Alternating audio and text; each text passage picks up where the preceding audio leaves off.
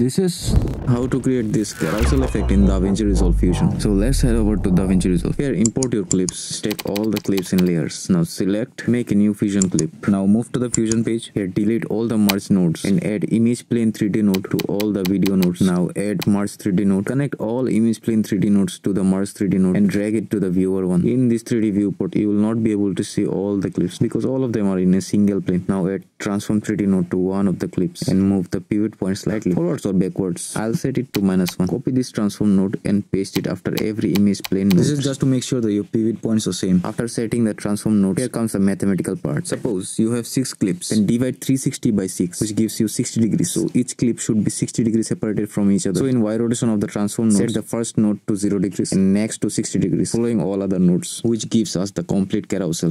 now in order to rotate the whole carousel, select the merge 3D node and set the pivot point of that merge 3D node to minus 1. Same as those transform and play with the Y rotation slider. Now set keyframes and animate it for the final output. Add another merge 3D node where we will add the tilt angle and add a renderer 3D node and you are all done. For detailed tutorial check out my YouTube video. Link is in bio.